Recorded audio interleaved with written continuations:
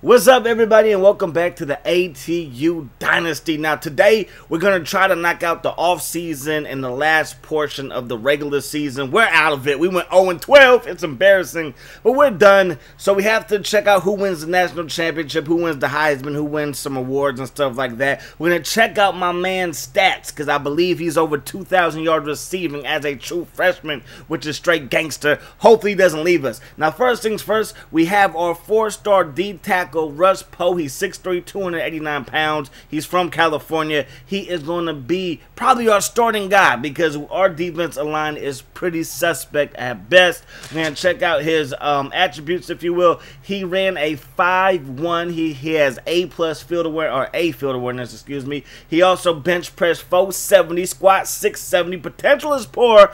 Not really worried about that. And his discipline is excellent. That means we should have no off the field issues with this young man. So as you guys guys can see, Chris Leak, aka Jamie Young, senior quarterback for the Florida Gators, he won the Heisman with 48 TDs, 3,868 yards. You can see that M. Hart, that's Mike Hart from Michigan. I got him in there for a real name. That's really it, though, from outside of the pack. 10. But that's going to do it for the Heisman. So we only had one guy who had a real chance of getting a award, and that, of course, was my man Coley. You check out his numbers. 115 receptions for 2,009 yards, 14 TDs, 39 carries for 248 yards. And you can see right there by the star that he is a first team All American. Let's go. So we have the quarterback from SAU. And we have, of course, Mike Hart up in there. We also have Marshawn Lynch. We have this guy from Oregon who was tearing us up as well. And then we have Coley representing Alaska Tech as a first team All American. So we have a new Michigan record. You see that Mike Hart broke the record for TDs with 24 of them.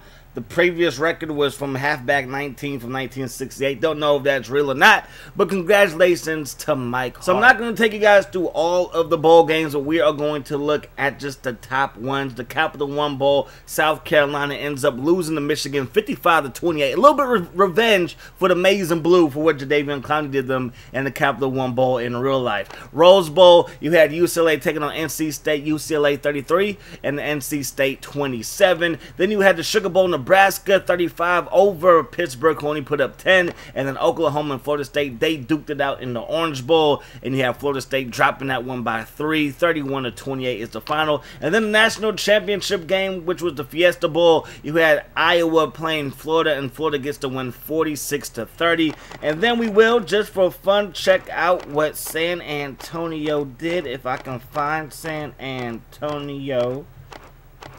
Did San Antonio it? Did, did I pass them? Boom, right there. Sucks for them. Look at that. Sucks for them. They had to play freaking Maryland. I don't know what it is, man, about this game, but they just hate independent teams, man. But SAU, they win their ball game 35 to 6. They were the number 4 team in the country. It looks like they did lose one game, but it was not here. All right, so we're going to kick off recruiting. We are going to bump this up a little bit more.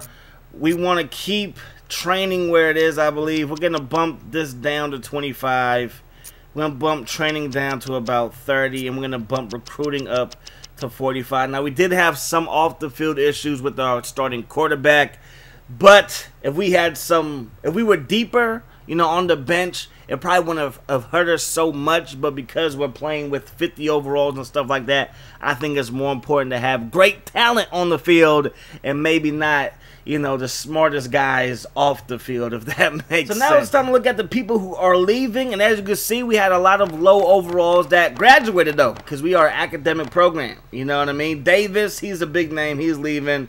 Uh, Coker, he actually played pretty well. Got a couple of picks this season um, for INT is actually. But good riddance. I hope you guys have a nice, safe trip uh, my man Davis. He actually played pretty well for us as well. He's up out of here too. We're gonna check out some other schools. All right, there's one school that I really want to check out, and that is Cal. Because I'm hoping to see Marshawn Lynch on here so we do not have to face him again. But it looks like he is staying for another year. Unbelievable. Marshawn Lynch is not going to go pro. He's going to stay for another year. You saw that he was a first team All American as well. He is going to be a handful. Uh, as you check out USC, you see that this offensive lineman, he's going to go pro. I believe LenDale White's graduating this year. Yeah, LenDale White's right there. I don't see John David Booty on here, so we're going to face him another year. That means we have another year to wait before we face Mark And then Sanders. UCLA, they actually had the best old lineman throughout the whole country. He is going pro, thank goodness. He is going pro as well, thank goodness. And I believe Maurice Jones-Drew graduated. Yeah, right there. He has graduated. So hopefully UCLA won't be so tough. So before we start recruiting, we have some transfers that want to play for our school because most likely they're not getting any playing time at their school. We have this halfback from Arizona. Now, we haven't played Arizona yet in this franchise, or this dynasty, excuse me. I'm hoping that we do because they seem to suck each and every year. Might help us to get our first Pac-10 win.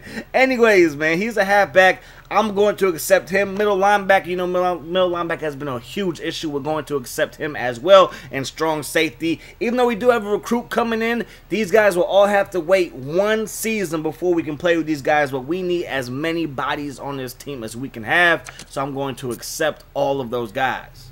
So I want to play this smart, so we're only going to go after guys who are interested in us. You see that the interest level is pretty freaking high with all these guys. I don't really want to waste time. I know these guys are only two-star recruits, most of them and stuff like that. But I don't want to waste time and points on trying to go after a bigger name when we do have a couple of recruits that have already signed. We have a couple of five-star recruits and a four-star uh, four-star recruit, excuse me. We still have Coley, obviously. So I'm to try my best to get some good guys, but, you know, at the end of the day, I'm really going to focus on the guys who really want to come to Alaska Tech and not guys that are just out of our budget, if you will, because, you know, these guys, you know, pay to play, if you know what I mean. Anyways, man, I'm to I'm gonna do some recruiting. I'll get back to y'all. Well, this has got to be one of the weirdest recruiting classes ever. We got two five star recruits, and then we got a four star recruit, and then we got um, this outside linebacker, and then we got this defensive end, and then we got this athlete, and that's it. We only signed six guys. the life of an 0 and 12 program. So man. Mike ended up going to Air Force, the tight end I was going after. This halfback that I wanted ended up going to UNLV. Then we lost this defensive end. We're going to see him every year because he's up in Oregon. We lost this tight end. It's bad, man. It's really bad. We lost another center to Oregon. It's really pathetic, our recruiting class right Top now. class goes to Florida, Michigan, LSU, San Antonio, Ohio State, Texas A&M, UCLA, Colorado. Let's go see where we are. Of course, not going to be anywhere in the top 25. We don't even sign like six guys. Oh, we got we got top 50, top 50 class with six scholarships in total. We are going to be thin beyond belief, man. That is crazy. Crazy, crazy. So we crazy. have Chris Alexander, our athlete. It's time to pick what position he's going to be. If I put him at halfback, he's 65 overall. If I put him at receiver, he's 70 overall. And his current position at athlete is 70 overall. But if I put him to safety, Strong safety is 72 overall. Free safety is 76 overall. Corner he's 74. So I think it's a safe bet that we should put this kid at free safety. So Kirby Gilmore has moved up from 70 to 74 overall, has 72 speed, and his throw power, uh, I believe it got better. It's now at 84 and 82, and if he gets hurt or suspended again, we're going to be in trouble because everybody else can't pass past five yards. Anyways, Brooks has 86 speed now. You see F Miles, that's Frank Miles. He is 80 overall with 87 speed. I can't touch him right now, but when I can, not pause. I didn't mean like that. Don't. Anyways, moving on. Coley, he's 82 overall with 87 speed. Vincent's still here with 80 speed as well. Then we got my man. Look, those two tight ends not signing, it hurts big time because we only have one tight end on the roster. If he gets hurt, we're to have to put like a linebacker or offensive lineman out there, which is going to suck. Uh, our offensive line situation, Still pretty bad. We have a 62 left tackle.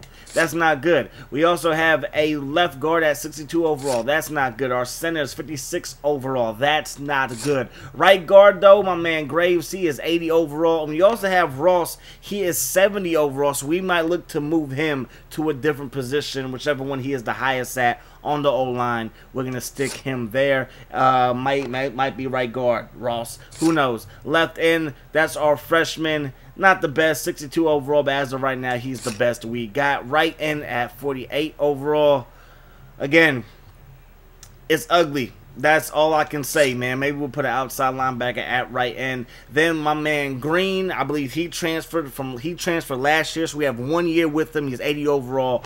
Poe, he was our four-star recruit. He's 74 overall. So again, already an upgrade there. Outside linebacker Newsom was with the squad last year. He's 62 overall now. We might move one of these guys over because as you can see on the bottom of the screen, we have Thomas, Winston, and Holland. These guys are higher overall than him right now. So we might, whenever we use a three linebacker set, we're trying to stop the run. I might go, I might go with those three guys as my three base outside and inside linebackers. Then, of course, you got Holland. He's 78, 78 overall. Actually, I take that back. I can't use Thomas because Thomas, he just transferred. So we're going to have to wait to use him, which sucks. But anyways, Winston, 60, 76 overall, excuse me, run stopper outside linebacker. He should be a beast with 82 speed. And then, of course, our cornerback situation is pretty solid. The most talented group by far on the team is our cornerback. And then, of course, our free safety. You see that we got my man right here, Alexander. He is our starting free safety. You might see my man, uh, Mac Mead. He, even though he's only 52 overall, he did play pretty well for us, and he is our impact player, but most likely that will disappear before the year is over. And then, of course, got Lance Gibson. I'm going to change his number. I don't want him to wear 46. I'm going to change his number before the season starts. He's 80 overall with 88 speed. He was our athlete and then we got the kicker situation and our punters, both basically terrible. So let's go get our schedule, y'all. So here goes our schedule to kick things off. We have Kansas week two, then we, uh, we then we have Army at home, then we're at Ohio, then Oregon State, Oregon, and you see those little locks. That means I cannot change that. This is the way it's going to be. Then we have number 25 USC, then we're at Arizona State, then we have Buffalo coming to town, then we're at number four UCLA, then we have Arizona coming to town. This is our first time versus Arizona. They have been the worst team in the Pac-10 besides us. So hopefully that could be our first Pac-10 victory. Then we have Stanford at Washington, and then that's going to wrap up the season. So that's going to do it, man.